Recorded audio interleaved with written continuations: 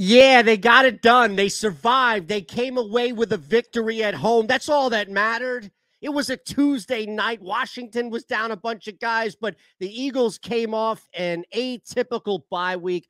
I don't give a rat's ass how they did it. The fact that they come away with a victory against a divisional opponent, also in the playoff race, that's all that matters. That's all that should ever matter. And shame on you for turning this thing into a negative that they barely beat or they should have lost. You know what? They did. You want to have a problem with the defense? Wait until we get to the three keys. But right now, as we open things up, on post flight looking at this Eagles victory, necessary, must win to stay alive in this. You heard the broadcast, what they were saying. Any team, whichever team loses, then now it's Washington, is SOL right now when it comes down to it, as far as trying to figure out their odds, just making the playoffs. Eagles, on the other hand, are right there in the mix. They are in it. They are fighting for something. They are playing for something. Miles Sanders doing something we haven't seen since LeSean McCoy, two straight 100 yard games. This is what we wanted to see. Remember, at the start of the season, Miles Sanders was healthy. He was available. He was out there. What are you doing? Run him, run him. Nick Sirianni said, No, I'm not going to run him. I'm not going to run anybody. I'm going to throw the football. And then all of a sudden, Miles Sanders gets hurt. And then the epiphany, this light goes off on top of the Nick Sirianni's head, and he starts running and he runs and he runs. And next thing you know, he's running more than Forrest Gump all over teams. And Miles Sanders comes back, and we think, Is this going to work? Is a guy in a doghouse? What's going to happen? How is this going to whole play out? And you know what? We have seen it culminate now two straight weeks in which Miles Sanders is the vehicle behind this Philadelphia Eagles offense, driving its way down teams' throats to success. And it is a thing of absolute beauty. And Jalen Hurts, after that first quarter of just it was up and down, the fumble was rough. The interception that goes off a man's heel. Do you understand what the outlier is in the NFL? That defines it. Something that happens so frequently that you never, infrequently, pardon me, that you never count on it. You never bank on it. The likelihood of an interception like that happening again is not zero, but very low. So, no, it's not that he threw an interception. It's, oh man, that's just bad luck. That's a brutal beat. They only held Washington to 10 points because Garrett Gilbert's just not that great of a quarterback. Jalen Hurts, on the other hand, is a very good quarterback in the NFL. He is a dangerous quarterback. He was making some throws, not all the throws, but he was making enough throws. And Dallas Goedert to Jalen Hurts to Dallas Goedert to Jalen Hurts to Dallas Goedert is a thing that I want to see each and every week. DeVonta Smith, okay. Jalen Reagor, good game. We've seen three in 16, 17, 18 shots dating back to last year. But you know what? He's there. He was present. Greg Ward with a hell of a catch with a great throw from just right there. I would say that would be the big thing. Just a second, though. When you look at everybody else outside of what Dallas Goedert and Jalen Hurts can be. And I think DeVonta Smith can get to this point. It just doesn't seem to be in the cards right now. Doesn't mean that the kid isn't super talented. We know he is. This is crazy when you look at the one, two, three punch you're getting now from the Philadelphia Eagles offense. You have a quarterback that is super dynamic, that can run as well as any quarterback in the NFL. You have a tight end who should be a volume receiver that also can get you big yardage and a score, we know, or two. Dallas Goedert should be targeted double digits every week. He should be targeted the same way that the Raiders target Waller, that the Chiefs target Kelce. When you look at Dallas Goedert, he should be targeted like a number one tight end in the NFL because he can play that way given the volume. And it, what are you going to take away targets from? Jalen Reagor or Quez Watkins or Greg Ward? Okay, I'm okay with that. That's the one punch right there. Alongside, as we already mentioned, the dynamic quarterback in Jalen Hurts. And then you have Miles Sanders on the ground who can just kill you. Yeah, Jordan Howard, Boston Scott, Kenny Gainwell. There are other backs, but Miles Sanders was always the best. We knew Miles Sanders was always the best. And he shows it now two straight weeks. How he, how Goedert now this week, and continuing to be with Jalen Hurts, so dynamic on the ground and a volume receiver, even at the tight end spot, that is really difficult to slow down. Yeah, Washington, Washington, the COVID, the issues, the guys that were down, the coaches. It was a Tuesday night game. I don't care how you win it, you get the hell out of there with a victory. treat this just like a Thursday night game, a short week, and they're going to have one on Sunday with the Giants. We'll touch on that before we get out on this show, but understand the biggest thing from this team is that they survive a short week, is that they were able to get now three games in 13 weeks, games in 13 days. They were able to do all of this because when you look back on Tuesday night, they survive. You lose this game to Washington, your season's over. You've been gutted from the inside. That's it. Let's say it. One thing that I absolutely love about Jalen Hurts is how dialed in he is. And as bad as Mark Sanchez was on the broadcast, it was a thing of beauty to see Jalen Hurts and the reference from Sanchez two times over about how Nick Sirianni is basically like, hey, man, you can smile now. It's okay. Like you can exhale, you, you can breathe, you can enjoy this moment because Hurts is so dialed in. Like this is the competitor that he is. If you've ever heard anybody use that awful cliche of somebody not being a Philly guy, he's not a Philly guy. Let me tell you something. Everything that Jalen Hurts exhibits everything that he stands for and then exhibits out there as a competitor. It doesn't mean that he's going to make the right play or right decision or right throw every time. I'm saying, as far as effort and attitude, is exactly what this city is about. The cliches that come from being a Philly guy and the fan base that always pines for that. You've got one here in the quarterback. And as much as we've made fun of people like Eli Manning with the Manning face and just, you know, always having this weird doofus look on you no matter what. I mean, hey, you just won the Super Bowl. Oh, we won the Super Bowl? Cool. Okay, what do I do? Am I going to go to Disney World with my brother Peyton? Great. Okay, he just looks weird. He looks off, right? Meanwhile, Jalen Hurts, you won't even get such as a smirk after he completes a huge pass or rushes for a second touchdown, passes Michael Vick as the all time leader, Eagles rushing touchdown. You don't even get a smirk, a smile, an acknowledgement. It's just back to work, back to work, back to work. I love that about this kid. I can't get enough about that from Jalen Hurts. Let's do it. Bring in Jimmy Kempski at Jimmy Kempski. Everything Philadelphia Eagles that you need to know from the draft to looking ahead to what happened from rookies to vets, including, of course, I'm sure Jalen Hurts is going to pop up in his columns this week. Jimmy, first and foremost, appreciate you, man. I, I know it's a short week, it's a crazy week for the team. That also means for people like yourself who are covering it. Uh, any immediate takeaway from Tuesday night football from the Eagles as far as the offense, the defense? Like, what was the first initial takeaway from you when that final gun went off? Well, as we know, uh, I mean, not to discredit the win, but obviously Washington was extremely depleted. They're without, you know, not just their top two quarterbacks, um, but they, you know, lost Ryan Fitzpatrick their original starting quarterback for the season when he had uh, surgery for his hip. So they were down Ryan Fitzpatrick. They were down Taylor Heinicke. They were down Kyle, uh, Kyle Allen. They're starting a guy in Garrett Gilbert, who they signed off New England's practice squad four days ago. Four days ago from from game day, that is. So, I mean, that's a huge advantage uh, in the Eagles' favor. Obviously, they're missing uh, their All-Pro uh, right guard Brandon Scherff.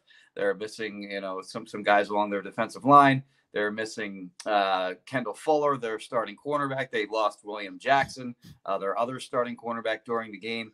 They were without uh, starting safety uh, Cam Curl, and the list just goes on and on and on. So, I mean, this is impressive that you have them all from memory. I got to be honest. What's that? I'm sorry. I was going to say this is really impressive that you just reeled them off like that off memory. Well, I mean, I've been tracking their, uh, you know, COVID cases and their right. injury report for pretty much nonstop for like the last nine days. So like if I don't remember them, then there's something wrong with me. But uh, yeah, so like they, they were really, really depleted, obviously, and give the Eagles credit for you know bouncing back after that you know zero ten start to the game that you know with weird circumstances the ball bounces up. Dallas Goedert drops the ball bounces off his yep. heel they pick it off. Really should have been a pick six. They score on that drive anyway. Uh, but yeah I mean they, they give them credit for rebounding from that slow start.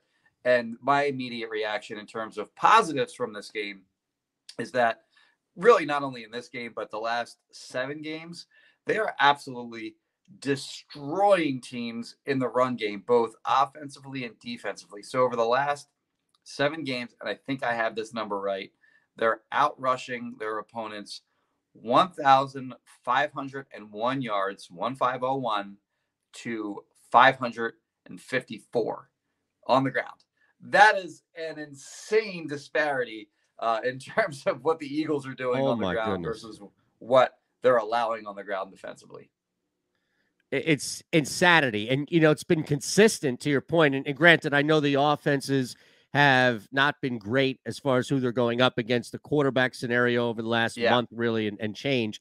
But the, the one thing that hasn't changed at all on offense, and I think we all maybe, I don't know if you felt it, but somewhere in the back of my brain after 10 nothing in the first corner uh, quarter uh, i'm thinking oh man here we go first part of the season, Sirianni's going to come out and Jalen Hurts going to throw the ball 50 times. And it, but yeah, you're right. I mean, these are outlier turnovers. We'll never see an interception like Dallas Goedert's off yeah. his heel again. And they stuck with it. And I think that's the, the biggest relief slash sense of accomplishment that this team has this year, Jimmy, is no matter what the circumstances are, they ain't moving away from their bread and butter, which is driving the football down opposing teams' throats. Yeah, it took a while to get there. They had some yes. curious game plans early in the season where, I mean, early in the season, I can remember after they played the Dallas game, Nick Sirianni revealed in his post game press conference that they felt that they were going to have trouble stopping Dallas's offense. And their solution to that was to try to throw the ball a lot and get into a shootout with them, which just made no sense whatsoever. They had a similar game plan, I think, against the Chiefs the following week. And then at some point, I don't know what triggered the you know the move to the run heavy offense, but that's clearly their identity right now. And I think that you know a lot of the credit not only goes to, to Nick Sirianni for recognizing that, but also to Jeff Stoutland, who has really sort of molded this offensive line together. He's, by the way, in charge of the run game. Like he's the run game coordinator, and uh, they're getting some really great performances out of guys along their offensive line. Like I think three guys are Pro Bowl worthy. Jason Kelce is going to be there for sure. Uh, Lane Johnson, I think, is worthy of a Pro Bowl bid. I think Jordan Mailata is worthy of a Pro Bowl bid. And then you have Landon Dickerson, who didn't play last night, but uh, who struggled a little early in the season, understandably coming off an ACL tear being sort of thrown in the fire week two after Brandon Brooks went down but he's played really well. He and uh, Jordan Mailata on that left side. Dickerson is you know 6'6", 333 pounds. Jordan Mailata is 6'8", 365, and they're just a massive bulldozing wall on the, on the left side of that line. They've had a lot to do with you know the Eagles' success on the ground. But when you have guys like Jalen Hurts and Miles Sanders and Jordan Howard running behind it, you have three different kinds of runners. So they can, uh, you know, they can do a lot of damage to these defenses, and they have. They're the number one rushing offense in the NFL, and, and by a pretty wide margin at this point now, too. Yeah, it, would almost be surprising if you look at how bad the Giants are against the run. We just saw Washington, who gave up over 100 yards to Sanders, that made it two straight games. It'd almost be surprising now if, when we head into that Dallas game, Jimmy, we're not looking back and seeing four straight 100 plus yard games for Miles Sanders. And look, it, to your point about it took a little while to get this running game going. It's finally this marriage of Sanders and how much they're running the game, right? Because start of the season, they were throwing, they weren't using Sanders really much anybody. Then he gets hurt, they start running the football, and now it's like, okay, everything is in sync. He's clearly this lead back, and they have that. Hurts as another punch on the ground. Would you be surprised if Sanders doesn't clip 100 now, two straight games? So I remember, uh, you know, going back to that Dallas game again, they had like three rushes with their running backs the entire game. I think that's, I think I have that right. Yeah. Yeah. Yeah. so, you know, it just goes back to the point that they've sort of figured that out. But yeah, I mean, Sanders is, is becoming a big part of the offense once again. Um, he actually got taken out in the fourth quarter at one point. Uh, he categorized that as you know, the team, the team wanting to keep him fresh for the stretch run in, you know, a game that they were yeah. leading by 10 at the end of the game. But, you know, they have a nice combination of, of he and uh, Jordan Howard like they had in the uh, the 2019 season where they sort of rode that uh, to the playoffs or 2018 2018 2019 they're all running together but those those two guys are uh, you know they, they complement each other well in that Sanders is a little more explosive they had a lot of outside runs with him uh, last night against Washington, whereas Jordan Howard's going to do a lot of your dirty work uh, on the you know in between the tackles. And then of course you have uh, Jalen Hurts who keeps defenses honest, even when he's handing the ball off. He's sort of negating one defender who's got to basically account for uh, Hurts keeping the ball and you know not running around the edge. So uh, the the the run game is just working right now. Whether they're running power looks, whether they're running you know RPOs, whether it's sort of I mean they even ran like an option play last night. So they're doing it in a lot of different ways, and they've been highly effective. And it's really the I mean it's their formula right now. It's it's their identity. It's their formula. And they're back to 500. They're seven and seven. They got a chance at the playoffs. They get the right matchup in the playoffs. Who knows what can happen? No, it's amazing. And and look, I know like 70% of the league is in a playoff hunt right now, but it keeps you honest as a team. It keeps you showing up and it gives you something to fight for uh, each and every week. I, one question on the game and then one more just on Jalen Hurts moving forward. But I am curious your thoughts on Fletcher Cox, the game that he had, and really the defense but Cox, his performance kind of representing that defense. And look, I get it. Garrett Gilbert and whatever the crap that Washington yeah. threw out there, they still you you cover this league a long time. You know that guys, no matter what string they are on the roster, nobody wants to go out and get humiliated. Nobody wants sure. to get embarrassed. So they're going to fight. And look, the Eagles defense showed up. I just wanted to get your thoughts kind of on Cox first and then the D as a unit. Yeah, well, as I mentioned early, you know, Brandon Scherff didn't play in this game. They're all pro right guard. So, you know, advantage in, in Cox's favor there. But I thought this was his best game of the season this year. As you mentioned, he had the sack and a half.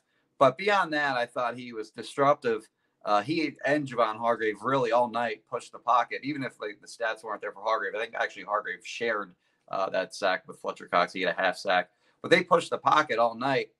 Eagles got to get a little bit more out of their edge rushers because the interior was doing their job. They're they're pushing the pocket back and not allowing uh, you know quarterbacks. Uh, they they didn't allow Garrett Gilbert to step up in the pocket uh, very much last night, and the edge rushers have to do a better job cleaning up when you know the the quarterback isn't able to step up. So they got to get some improvement there. That's in my opinion their biggest. The quarterback discussion aside, whichever way they go with that, edge rusher is in my opinion very clearly their biggest uh, offseason need and probably what they'll tar- what they're most likely to target in the first round of the 2022 NFL draft. Uh, but I thought also, you know, the back seven did a nice job on uh, on on their receivers. Terry McLaurin is a major weapon in that offense, and he had the one big play. He actually got behind Darius Slay. That should have been a touchdown with a better throw, uh, but it was left a little short. Wound up being a 46 yard gain anyway. McLaurin made a nice play on that. But that play aside, he had one catch for five yards. So I think yeah. for the most part, you know, Slay did a nice job. TJ Edwards had a big pass breakup. He had a forced fumble that the Eagles weren't able to recover. He continues to to be a guy that you know is limited athletically, but is so instinctive and so tough that you know he, he winds up making plays anyway. So you know the Eagles have a, a, a weird mix at, at, along their defense, and um, you know I, I, think there's there's something to build around there. They're not quite there yet, but they have some pieces in place, and uh, I'm sure that they'll add to that to, to that group uh, and, and, they'll spend some you know significant resources on the defensive side of the ball uh, this offseason. 60 seconds, Jimmy, on your way out. I'm just curious from the global standpoint here on this team. We're three games out of the final of the playoffs. We're talking about this Eagles team having a legit chance at the playoffs, and Jalen Hurts is leading the league's top rushing attack. Has he not locked this job up for at least next year? I don't think he's locked it up for next year. No. Um, I mean, last night was certainly a check mark in his favor. So after uh, uh, the uh, during the bye week, I put together sort of a stock up, stock down, game by game look at you know each of his individual performances on the season. And I at the time I sort of dis- determined that you know he had four games that were stock up, he had four that were stock down, and then he had four that were sort of just neutral. Uh, last night he added to that stock up tally. So I, I would call it five, four, and four at this point for him. So, you know, I think what the Eagles are going to look at is, I mean, we're looking at their offense right now and we're super impressed by, you know, what they're doing on the ground, the way that they're just crushing teams in the run game. To be determined if the Eagles want to be that going forward in 2022 and beyond, I mean, we all indications have have have sort of said that the Eagles want to be a pass heavy team. Like they want to win through the air. They feel that that's the way that you have the most success in the NFL. And whether this season sort of changes their mind on that might determine whether they roll with Jalen Hurts going forward in 2022 and beyond, or whether they seek out, you know, quarterback this offseason, whether that's via trade for a guy like a Deshaun Watson or Russell Wilson, or whether they look to draft a guy uh, in, in the 2022 draft, whether that's a guy like Matt Corral from uh, Ole Miss or whether it's a guy like Kenny Pickett from uh, Pittsburgh. So, yeah, I think all options are still open on that. Um, what I've seen to notice throughout the season is that when Jalen Hurts has a good game, we all kind of go, oh, he's their guy moving forward. When he has a bad game, everyone goes, all right, he's done. So we're very reactionary from game to game. So, you know, he's got three left, and we'll see how those go. And, and then we'll take sort of, um, I think once the Eagle season is over, we'll take sort of an overview look of what we saw from him throughout the year and, and probably be better equipped to make a, a, a full, uh, you know, more informed opinion on, on, you know, sort of what what his body of work was over a full season, as opposed to kind of going game by game like this. Thanks, Jimmy. Awesome stuff. You, you got it, man. Appreciate it.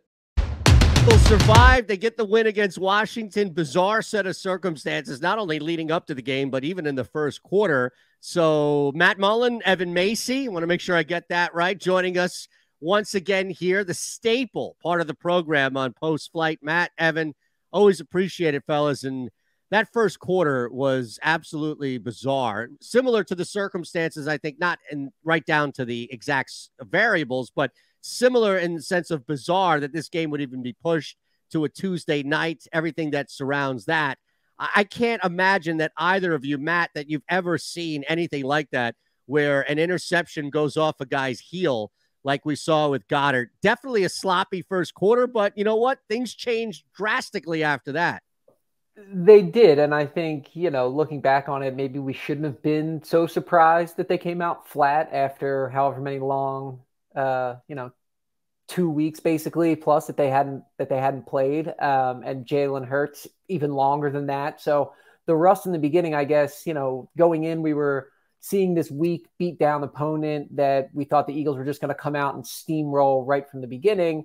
That didn't happen, but I do think that there were positive signs in that, you know, you can only take so much from a win over a team that's missing half of its roster, but they did regroup and they did bounce back and were a completely different team after that slow start. So I think all of that was definitely encouraging.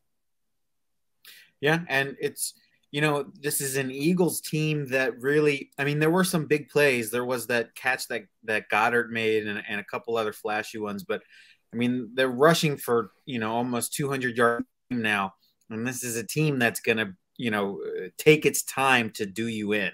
So, I mean, for us to kind of expect them to jump to like a 21 nothing start, that's not really what this team is. And the turnovers, I mean, obviously the first one was completely, completely bad luck. And, Jalen Hurts is going to the ball over. I don't think we saw anything that was particularly surprising, but it did pay homage to the only other Tuesday night game that that Philadelphia played.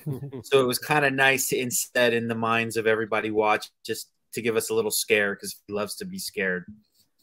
Yes, and thankfully Joe Webb's ghost didn't come out and rear its ugly head by any means. By it, that's something to be positive about. And I think the rust element is clearly going to be the valid one that we point to in that first quarter.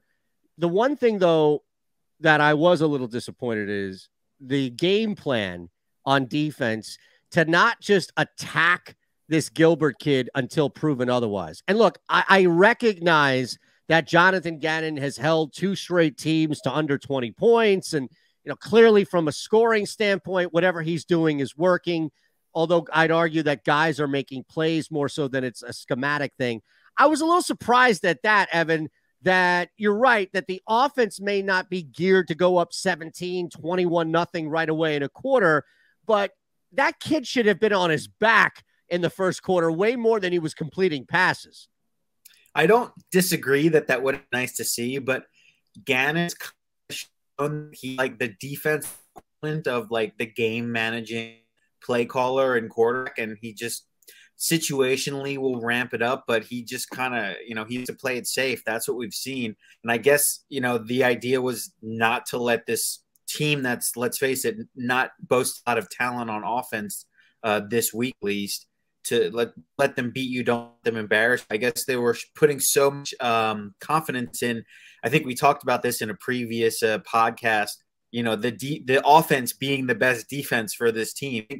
Once again, you're kind of seeing that. Just kind of do your job as as half-assed as you can, and and then let the offense keep the ball and run the.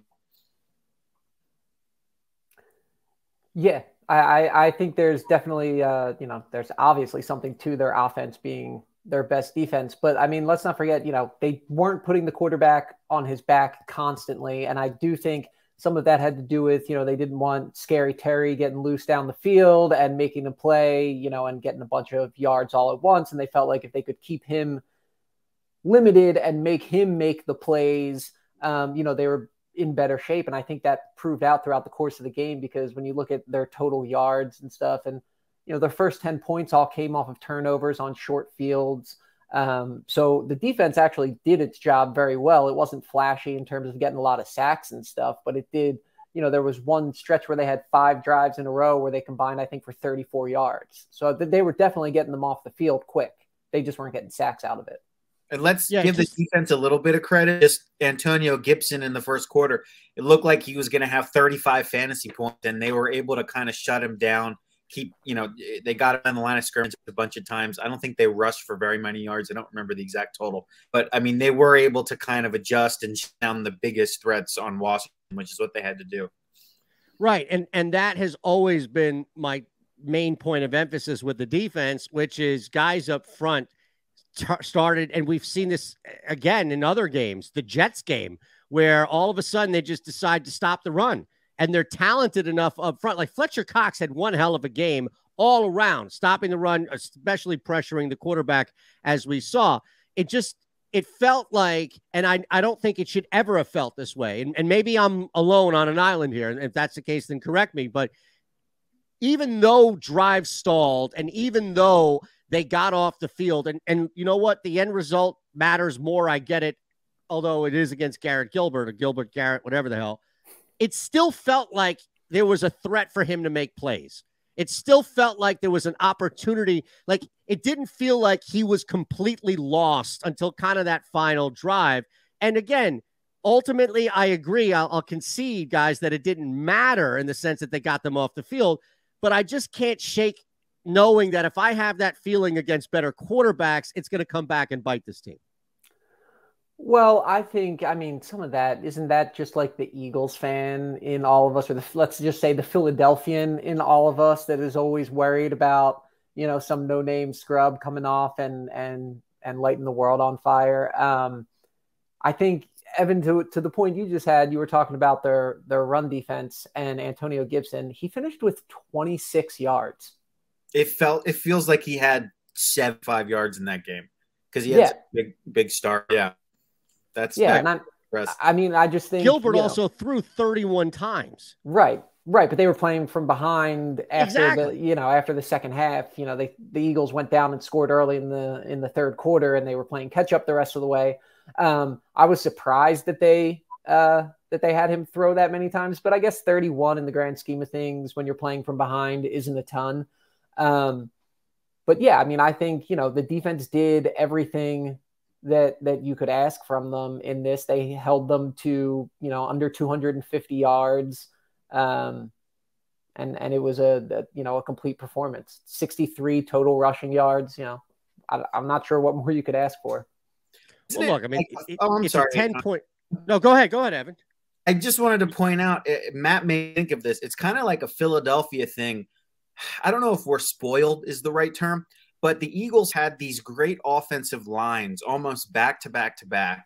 And it looks like we're on the cusp of being on some kind of a stretch where they have it again with Dickerson and Mailata, et cetera. And there was the stretch where the defensive line was just a set machine, you know, year after year, after, you know, the 2000s teams with Don McNabb, and then the teams later in the decade, and then the Super Bowl team. Connor Barwin got like 18 backs in a season. So I feel like when the Eagles aren't generating five sacks in a game, everybody freaks out because we're kind of like a thing of pride. Philadelphia is supposed to be the defensive that dominates, and that might just not be. They might not be a productive defensive line anymore. It might just not be the personnel we have. That's fair, but I also think to to put this in context, we've seen three straight games against awful teams, backups to third strings. And the defense didn't get beat up. And I'm not. Eh, what I'm saying is, I'm not coming down on Gannon, but I feel more neutral than I do feel praiseworthy. And look, to your point about them not having the talent, maybe as as we've seen. I don't think for me personally that I'm falling into like the Negadelphia trap here. You know, I go back to that Chargers game and even maybe that Raiders game and think, all right, if you're getting circumstances that aren't going your way against a far better quarterback, is this because I'm focused on the playoffs? Shouldn't we be focused on making the playoffs? Yeah, you got Glennon, whoever the hell this mess is at the Giants, and probably maybe Heinicke back, who still technically is a backup. I don't know if Dak Prescott and the Cowboys are playing for anything, but if they are, then that's where I think this conversation we go back to. And, and if I'm wrong, then I'll gladly admit it because that means the Eagles defense has been playing so well that they can shut down that Dallas offense. Okay, well, if you're if you're looking at it that way, then yes, you're totally justified. I think I was sitting there thinking, you know, during this game, thank God they're playing this team right now and not someone with a legit NFL quarterback and all of their starters healthy, because I don't know that I don't think they would have come away with a with a win. Um, so if you're looking at it, you know, looking ahead to when they have to play better teams, if you're looking at the playoffs or even the Cowboys, assuming they, you know, have something to play for that last week um, yeah, I'm definitely worried about the defense from a defensive sense. standpoint only. Right. Oh yeah, yeah, definitely. I think their offensive line and the run game, I am not worried about one bit. Yes, defensively, definitely. I think you know there's plenty of reasons to be worried about. I was saying you were having that uh, that Philadelphia worry for a guy like Garrett Gilbert beating them. But if you're looking Got down it. the line at more serious guys, then yeah, definitely there's reason to worry. And I don't think you can give too much praise to the defense. I do think you're right to be more in that neutral phase because just look at the competition they've played the last three games. It hasn't exactly been the best. So, and they're not going to really have another test possibly the rest of the way. So I guess, you know, we'll find out.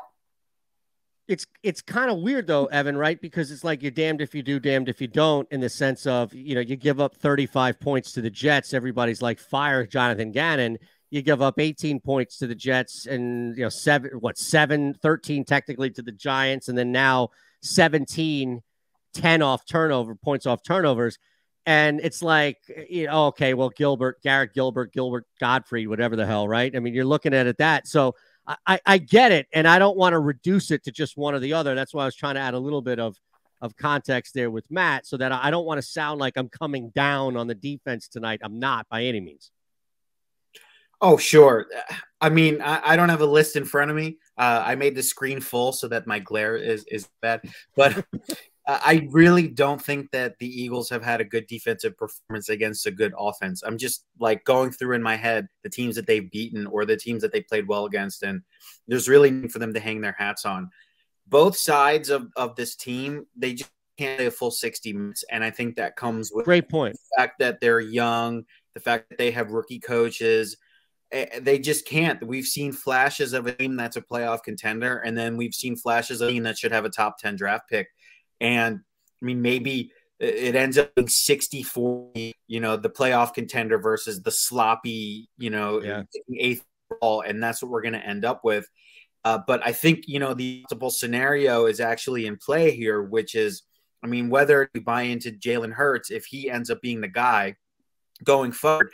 And then they can use those first round picks and some of that cap space to upgrade the defense.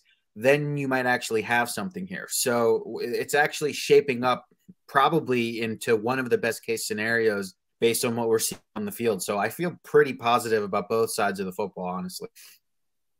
Love it. All right, let's end on this. Now, you guys can't cheat because there are two options here. So I, I know that you have your own telekinetic uh, language that you're already communicating to each other here. Like, all right, you take one, I'll take the other. You can't do that. You have to choose based on your own merit and based on what you actually believe, as opposed to just, well, if I take one, I know Matt is going to take the other, so I'm good.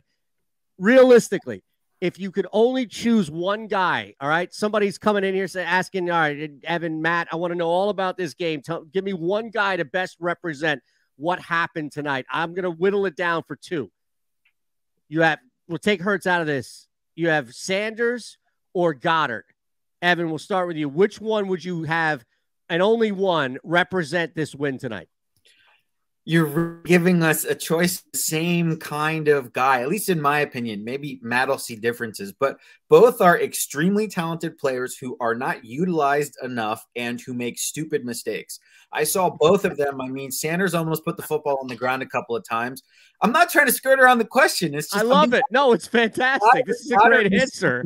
Goedert missed a couple of layups. I think they're act like you did a really good job. They're both really good examples of this team. They're guys who have a bright future, etc. I guess, I guess I would go with Goedert because he's under contract. um, he's the future of the team.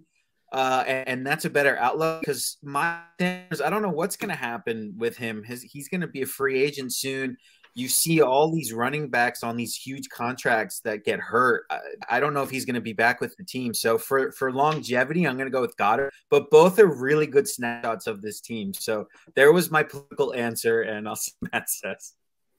Um.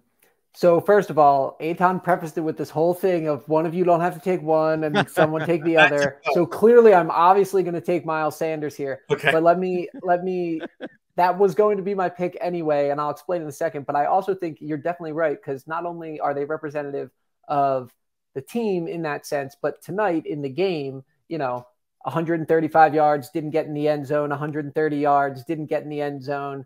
Um, both had you know scary moments. You know, Goedert had the one that went off his foot. Sanders a couple times he almost put the ball in the turf. I will say Sanders right now is more representative of this team because I think their identity is a run first team. And I think the way they've been over the last six, seven games now, um, you know, he was hurt for a little bit of that stretch, but now I think you're really seeing um, him take over as the face of that uh, running attack. And I think, you know, that's what's been winning games for them right now.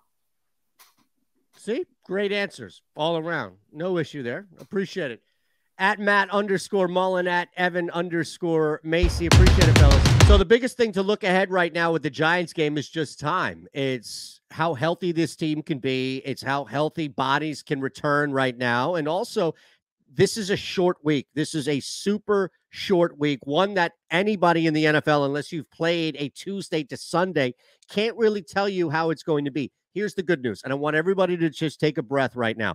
The New York Giants are toast. They're cooked. They are so bad as a football team right now. Mike Glennon is the quarterback. Unless Daniel Jones is healthy, this isn't even a conversation. In fact, I would go ahead and lay the 10 right now. I don't think it's going to drop much, so you're not going to lose a ton of value. If anything, it's going to move up. The Giants just can't get it right. It's been a waste with Saquon Barkley. Their offensive line is horrific. And even if Jonathan Gannon sits back with this soft shell, and allows Gannon to now Gannon to let Glennon throw the football, it's still not something that I would be totally concerned about because they don't have the horses. They don't have the quarterback. He doesn't have an arm anymore. It's a noodle back there. It's a disgrace watching this New York Giants offense even compete out there. It's not even like the Jets or just bad teams like the Jags out there, Houston. It's not even like that. It's it's this team that looks like they haven't even put any effort into it. And guys are hurt, they're banged up. It's just a terrible display. They go out there, they bang into each other. The offensive line is atrocious. I'm sorry. Three games in 13 days aside, short week from Tuesday to Sunday aside. I'm going to be almost not as equally because this was a Garrett Gilbert special from Washington, but there is no way in hell that they go out and lose to the New York Giants two times this year. Uh uh-uh. uh I don't see it happening.